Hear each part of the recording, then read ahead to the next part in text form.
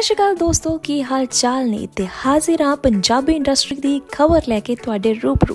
ਬਹੁਤ ਹੀ ਟੈਲੈਂਟਡ ਤੇ ਵਰਸਟਾਈਲ ਐਕਟਰ ਐਮਏ ਵਿਰਕ ਨੇ ਆਪਣੀ ਅਗਲੀ ਫਿਲਮ ਅੱਜ ਆਜਾ ਮੈਕਸੀਕੋ ਚਲੀਏ ਨਵੰਬਰ ਵਿੱਚ ਰਿਲੀਜ਼ ਕਰਨ ਦਾ ਐਲਾਨ ਕਰ ਦਿੱਤਾ ਜਿਵੇਂ ਕਿ ਅਸੀਂ ਸਾਰੇ ਜਾਣਦੇ ਹਾਂ ਕਿ ਕਿਸਮਤ 2 ਐਮਏ ਵਿਰਕ ਦੀ ਹਾਲੀਆ ਰਿਲੀਜ਼ ਫਿਲਮ ਸੀ ਜਿਹਨੂੰ ਤੁਸੀਂ ਸਭ ਨੇ ਖੂਬ ਪਸੰਦ ਕੀਤਾ ਤੇ ਇਹ ਫਿਲਮ ਬਾਕਸ ਆਫਿਸ ਦੇ ਉੱਪਰ ਬਹੁਤ ਵਧੀਆ ਕੰਮ ਕਰ ਰਹੀ ਹੈ ਜਗਦੀਪ ਸਿੱਧੂ ਨੇ ਇਸ ਫਿਲਮ ਨੂੰ ਡਾਇਰੈਕਟ ਕੀਤਾ ਸੀ ਤੇ ਐਮੀ ਦੇ ਆਪੋਜ਼ਿਟ ਸੀਗੇ ਸਰਗੁਣ ਮਹਿਤਾ ਇਹਨਾਂ ਦੋਨਾਂ ਦੀ ਜੋੜੀ ਨੂੰ ਤੁਸੀਂ ਕਿਸਮਤ 2 ਦੇ ਵਿੱਚ ਖੂਬ ਪਸੰਦ ਕੀਤਾ ਤੇ ਤੁਹਾਨੂੰ ਦੱਸ ਦਵਾਂ ਕਿ ਐਮਏ ਵਿਰਕ ਹੁਣ ਆਪਣੀ ਅਗਲੀ ਫਿਲਮ ਆਜਾ ਮੈਕਸੀਕੋ ਚੱਲੀਏ ਦੇ ਨਾਲ ਸਿਨੇਮਾ ਘਰਾਂ ਦੇ ਵਿੱਚ ਧਮਾਕਾ ਕਰਨ ਲਈ ਤਿਆਰ ਨੇ।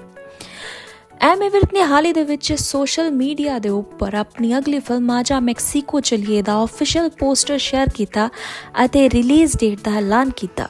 ਆਜਾ ਮੈਕਸੀਕੋ ਚਲੀਏ 25 ਨਵੰਬਰ 2021 ਨੂੰ ਰਿਲੀਜ਼ ਹੋ ਰਹੀ ਹੈ।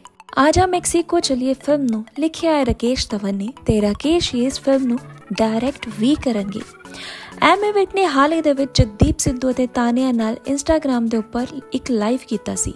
ਉਸ ਲਾਈਵ ਦੇ ਚਲਦਿਆਂ ਹੀ ਐਮੀ ਨੇ ਕਿਹਾ ਸੀ ਕਿ ਸ਼ਾਮਾਂ ਨੂੰ ਕਰ ਦਵਾਂਗੇ ਇੱਕ ਨਵੀਂ ਫਿਲਮ ਦਾ ਐਲਾਨ, ਜੋ ਕਿ ਹੋਵੇਗੀ ਇੱਕ ਐਕਸ਼ਨ ਫਿਲਮ ਦੋਸਤੋ ਆਈਡੀਆ ਲਗਾ ਸਕਦੇ ਹਾਂ ਕਿ ਉਸੇ ਸ਼ਾਮ ਜਿਹੜਾ ਹੈ ਐਮੀ ਵਿਰਕ ਨੇ ਆਪਣੇ ਇਸ ਫਿਲਮ ਦਾ ਆਜਾ ਮੈਕਸੀਕੋ ਚਲੀਏ ਦਾ ਪੋਸਟ ਸ਼ੇਅਰ ਕੀਤਾ। ਤੇ ਫਿੰਗਰ ਕ੍ਰਾਸ ਕਰਕੇ ਰੱਖਦੇ ਹਾਂ ਕਿਉਂਕਿ ਹੋ ਸਕਦੀ ਹੈ ਕਿ ਐਮੀ ਵਿਰਕ ਦੀ action film Aaja Mexico Chaliye ਹੀ ਹੋਵੇ।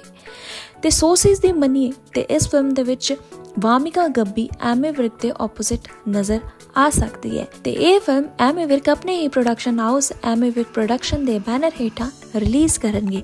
ਸੋ ਜਿੰਨੇ ਵੀ ਐਮਏ ਵਿਰਕ ਦੀ ਅਦਾਕਾਰੀ ਦੇ ਤੇ ਗੀਤਾਂ ਦੇ ਫੈਨਸ ਨੇ, ਉਹ ਸਾਨੂੰ ਕਮੈਂਟ ਕਰਕੇ ਦੱਸਿਓ ਕਿ ਤੁਹਾਨੂੰ ਕੀ ਲੱਗਦਾ ਹੈ ਕਿ ਆਜਾ ਮੈਕਸੀਕੋ ਚੱਲੀਏ ਫਿਲਮ ਕਿਹੜੇ ਜਨਰ ਦੀ ਹੋਵੇਗੀ?